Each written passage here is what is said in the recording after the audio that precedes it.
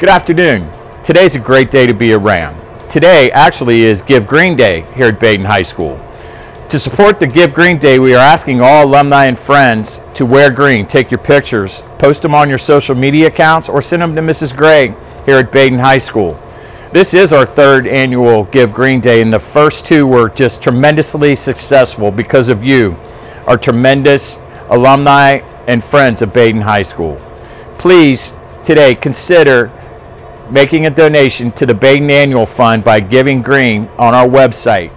On behalf of the faculty, staff, and students here at Badin High School, we thank you for all you do for us at Badin High School. Have a great Green Day.